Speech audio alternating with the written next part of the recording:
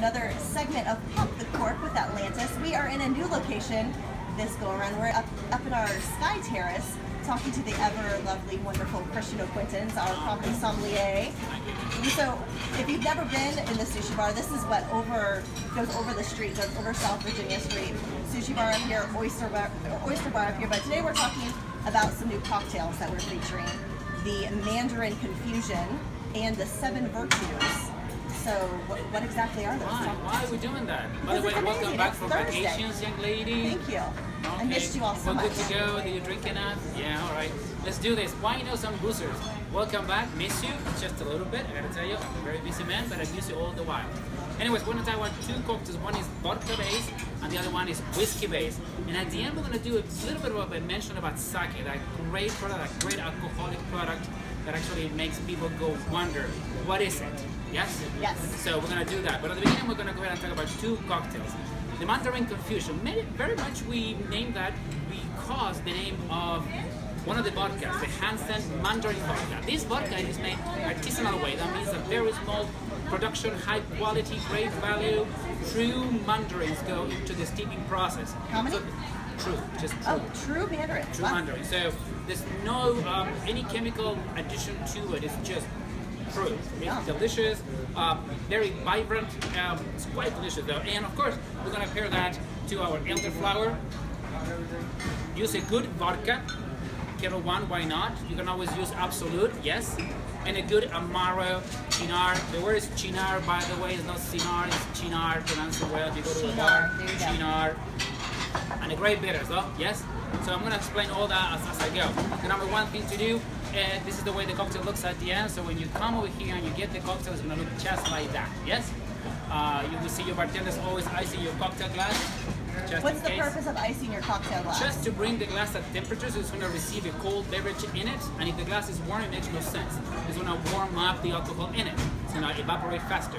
It's just going to create just sort of kind of a blast sensation into it when you want the so vibrancy. next time you're having a cocktail party at your house, ice the glasses and you'll look super cool to your friends. Yeah, so by the way, you're gonna get all of this at Total Wine. All of those at Total Wine.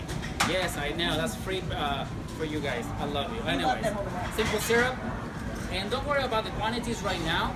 I will send you um, a link so you can possibly uh, do it do it at home. If you can't do it at home, just come see us. And I'm using just squeeze lemon juice over here. Really important. Your elderflower, you gotta be really careful with this. Super potent. You just want the right amount. And I specify the amount in your recipe. Yes. So I'm creating a very complex sour. I'm making my regular sour with lemon and sugar, and at the same time, I'm creating complexity by adding liqueurs. And of course, an Amaro. So through these videos, we always kind of talk about we always talk about simple syrup. Most of the cocktails have simple syrup. Yeah. So it's probably a good idea to just make a batch and keep it keep it around for your, for your cocktails. You know what? If you make a really good simple syrup, it will last anything between three days to five days, no more than that. After Okay, that, okay. dis- disregard it. To it's know. gonna be this, this very thick, nine to one part. So whatever vessel that you use in, whatever vessel, nine parts to one. Nine parts of sugar, one part of really hot water, and just dilute, dilute, dilute. You don't worry. Vodka. And as always, if you have questions as we're going through these recipes, these drinks, please write, write them on Facebook. We'll answer them um, live here at the Sushi Bar. I answer all the questions, by the way. You do. He's very good. We have a good time. Some people come to here and see me. We have a good time behind the bar. I know. Shouldn't do that. Those are grape bitters. Is that what you said? This is an orange bitter. Orange bitter. You Got can it. find it at Ben's, by the way. Ben's. I'm giving you all the secrets. I know. I tell you. Do yourself a favor when you're making your cocktail. Taste it at full strength. This is when your cocktail's gonna talk to you, whether I'm, I'm tasting right or I'm tasting badly. Right now, it is the moment to go ahead and make any adjustments. I happen to love it. All right. Right inside here, though, you will find eyes. Just halfway there. You don't want to put eyes all, all, all, all the way through. Just halfway over there. And then you create your sort of kind of a nose over there, just to make sure that your cocktail stays. And then you shake. And this is part of the, the mixology workout. I always joke about that. Bartender workout. Mm, bartender workout. And if you're gonna do it at home, just be elegant, right? All the way there. Why not, right? so what we're gonna do, do a double strain. If you ask for a straight up martini or a straight martini light, you do want to you don't want to have ice in your cocktail, otherwise it will be over. So nice double strain, no ice in it. Nice little lip over there so the waiter can actually carry it. Looks like a great summertime cocktail. Thank you. Transitioning into the seasons. We're gonna go ahead and exude the oils of an um, orange peel. There you go. Put it on top of there. That'll rest on top of it. And we're going to use some just blueberries all the way from Chile. There you go. Do we get it from Chile all the time? Not really. Didn't even but this time, yeah. You're, you're from Chile, I was born in Chile, yeah, go Chile. so you might want to go ahead and taste it at the end. there you go. We have a guest who's willing to taste the drink. All right, I'm gonna give this this cocktail a Yes, absolutely. So you never know. If, if you're here on a Thursday, you never know where we might turn up, and you might just get a free drink. All right, I'm back. I'm back. I'm back. Second cocktail. If you have any questions, just start typing, start calling. We'll, we'll make it happen. So that was a martini glass. Yes, this is a martini glass. Classic, invented in America, influenced the rest of the world. Okay, this one over here is a double old fashioned, a cocktail glass invented also in America. We invented for our famous old fashioned. The rest of the world follow through. You're welcome, world. Anyways, I'm icing my, my, my glass over here because I want to keep my glass nice and chill. My mixing glass, and I'm gonna start making my complex sour, yeah? The first thing I'm gonna do, simple syrup. You're gonna see our bartenders over here using some, some bottles to, to keep the, the simple syrup. They want to know always how clear the simple syrup is. If you see that your simple syrup is cloudy, don't. Just You don't. are laying down all kinds of knowledge. I know, today. right? Man. So don't on worry about the recipe. I'm just showing you what to do. I'll give you the recipe online. Yes. Actually, Tracy will. I will. Lemon juice. And this, if you're coming up to the sushi bar, this is the seven virtues, yes? Seven virtues. So to be a samurai, you gotta have go through the seven virtues school, I guess. And not that I even have one of those, but I love the virtues. Uh, it, it is what it is, though. Um, love samurai movies, and what can I tell you? Anyway, so created this cocktail thinking about utilizing a really great uh, Japanese whiskey. This is Hakashi White Oak. Akashi White Oak. Uh, all the barley that goes into this to, to make this, this blended whiskey come from Scotland. So it's imported all the way to Japan to try to make it. And it's called the White Oak because it goes into American White Oak char barrels. That's about it though. But I'm gonna add my whiskey at the end. I'm gonna make my complex sour over here. China Amer, really complex French Amaro. Uh, nice and delicate, more aromatic than, than it is Amaro-like, yeah? You can find this where? You can find all of this at Ben's. Okay. And then my famous Dom Benedictine. Yes? Very herbaceous, hint of sweet, hint of uh, some sort of kind of a lilac in it, and at the same time, honey, honeysuckle. And it's a cool bottle. It's cool What bottle. can I tell you? I love it. And of course, I'm going to use a good bitters. Uh, this is a rhubarb bitters. It's by Fee Brothers. Um, Duard says, nice job, Christian. Hey, you- thank you, my man. So, a couple of drops over there. Just remember the bitters, you can always add more, you can never remove. So if you're in doubt, taste your cocktail, yes? Just you wanna do that at full strength all the time. With more of the knowledge, I'm telling you. You can always add more, but you can never take away. Love it. You can't. I learned that from my wife, married for 20 years over here. I'm telling you, that lady is still good for me anyways. Aw. See, I'm tasting it, and I will add just a dab more of a simple, just for me, for, for my taste. I'm gonna be drinking it, so my thing, right? Okay, I'm gonna go ahead and chill it now. I'm good to go. Again, dab it, doesn't go anywhere. Nice and shake over here. You're gonna do a bruising shake. A bruising shake is just, you know, very strong, burly shake. Burly shake. That's how he gets his muscles. Michael from Yelp Reno says we love Lori, which is your wife, so thought you'd appreciate that. Thanks, comment. Michael. Appreciate it. So um, I'm gonna go ahead and strain this into this glass.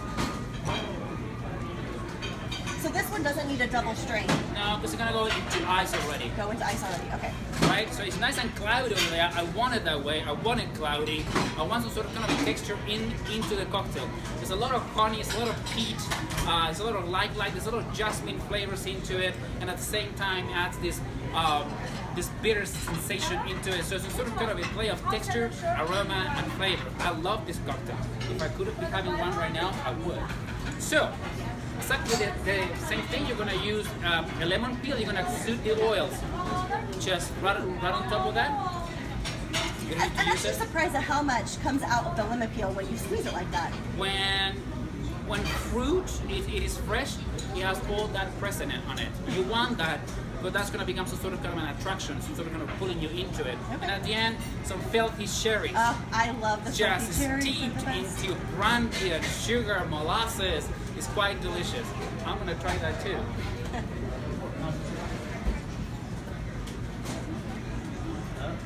good, good, I'm good. All right. so this is the seven virtues. You The can find it up on the sushi bar. And we will be posting the recipe for you later. So with all of these, we want you to learn. We want you to take it away. Share your stories with us. Share, share photos if you're making it at home. But we can't, we're in a sushi bar, right? We can't be in a sushi bar and not talk about sake. So I asked you to pull out a cup of sake, talk about it. Do you drink it hot? Do you drink it cold? What, what's, what's the deal with sake? So the, the idea of drinking sake hot, it comes from the time of the GIs of the Second World War, right? When we actually invaded Japan, we went to Japan and we told them what's what. At the same time, we got uh, involved in drinking sake. The sake produced at that time was very low quality. The best sake was only for the upper echelon classes and whoever could afford it. The rest of us, we had to drink a very poorly made, not really well filtered sake. Wants really well made sake. The only way to get rid of all the harshness was heating it up. We learned that over there. Now our way back to America. We load up with sake on, on the on the ships, and we drink sake heated up all the way back to America. That generation, thank you very much. We love you to death.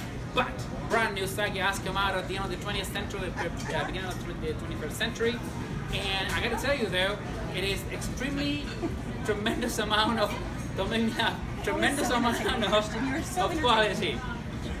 So, a few things that you have, you have to pay attention though. Junmai Daiginjo. Junmai Daiginjo. If you don't know what I'm saying, it's okay. Your servers will know. But it's either you're gonna drink, uh, it's either you're, you're, you're gonna drink a Junmai or you're gonna drink a Daiginjo or both together. Junmai Daiginjo. Highest quality of sake, Junmai Daiginjo, and it relates only to the level of filtration and to the level of polish of the rice. Is it getting too technical? Heck yeah! But what we can do though is just to go ahead and ask for a singular name. Do you have Tyku Ju- Junmai Daiginjo? Tyku Black? Black. That'll Okay, get so we will spell all that for you Yeah, in the will. comments of this video after we're done. Um, and we have a we have a comment from Tom Hood. He said he could belly up to the bar anytime. You're a master, you're an artist of spirits. So Thanks, Tom. Thank you for the comment. Thank you very much. So this one would be clear. A lot of aromatics of almonds and roasted almonds, um, some sort of kind of a heel of backdrop of heather and, and grassy notes in it. In it, it's fantastic to go with any kind of with any kind of sushi though. Um, you don't mind I'm gonna taste it because I, I get paid for it. So that's delicious though. And the texture is, is just very light and it just kind of rolls into your palate, creating a, creating a cleansing moment. Ready to go for the next bite though. So, and any of the servers here at the sushi bar, they can they can walk you through the sake bar, and if you if you have questions, they're happy to help you pick Yes. out something that's gonna be ideal to match with your with your sushi. So All right. don't be intimidated. This one though, it is um, another type of sake. It's called the nigiri. The, the nigori sake it means unfiltered. This one is being accentuated with lemongrass and coconut. If it is your first time drinking sake, and especially if you're a young lady or a lady, you're gonna love this. that Especially because I used to make a cocktail out, of this, and people were nuts.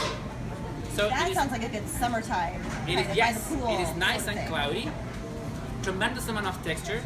Uh, this little bottle will take you through, through the whole meal because it's very heavy though. At the same time though, the aroma of coconut and lemongrass, two opening, contrasting aromas and textures, they come together in an unfiltered sake as a way of saying, hey, how you doing?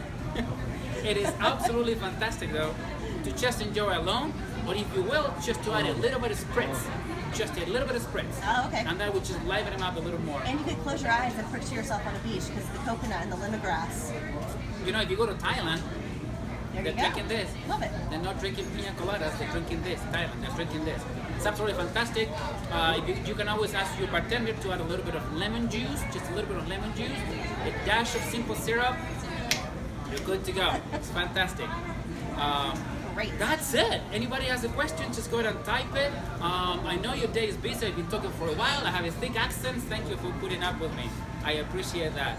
We will see you two weeks from today for our next segment of Pop the Cork. In the meantime, we do have a Whiskeys of the World dinner coming up on Thursday, April 27th. Oh, yeah. That menu looks fantastic. So if you want to start to explore some of the ideas of whiskey paired with food, this is the great way, great place to start. You can find that full menu at atlantiscasino.com backslash dine. Until two weeks from today, we'll see you later. Thanks for watching. Bye, guys.